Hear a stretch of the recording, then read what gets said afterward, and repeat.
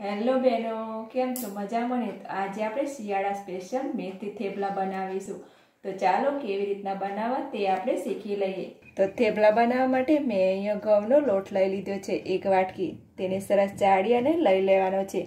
આપણે રોટલીનો લોટ લઈ લેવાનો છે. તેની અંદર આપણે મેથીની ભાજી સમારી અને લઈ લેવાની છે. તેમાં આપણે એક ચમચી જેટલા તલ એડ કરીશું. તલનો ટેસ્ટ થેપલાની અંદર ખૂબ જ સરસ આવતો અડધી ચમચી લાલ મરચું થોડું ધાણા જીરું, થોડી હળદર અને સ્વાદ અનુસાર મીઠું એડ કરી દઈશું.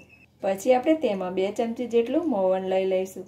અડધી ચમચી જેટલો લીંબુનો રસ એડ કરી દઈશું.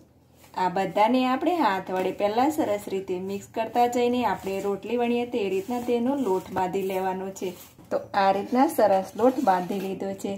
તો આપણે હાથ પર થોડું તેલ લગાવીને ફરીથી એકવાર મસળી લેવાનું છે આ રીતના. આ રીતના આપણે એક નાનો ગુલ્લો બનાવી લઈશું. ગુલ્લો બનાવીને આપણે રોટલી વણીએ તે રીતના વણી લેવાનું છે. તો આ રીતના આપણે વણી લઈશું. તો આપણું થેપલું વણીને તૈયાર થઈ ગયું છે આ રીતના. તો હવે આપણે તેને શેકી લેવાનું છે. તો શેકવા માટે મેં પેન મૂકી દીધું છે અને પેન પણ સરસ ગરમ થઈ ગયું છે.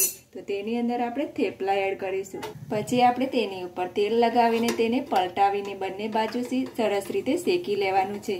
તો આ રીતના મેં થેપલાને બંને બાજુ પલટાવતા જઈ અને સરસ રીતે શેકી લીધું છે.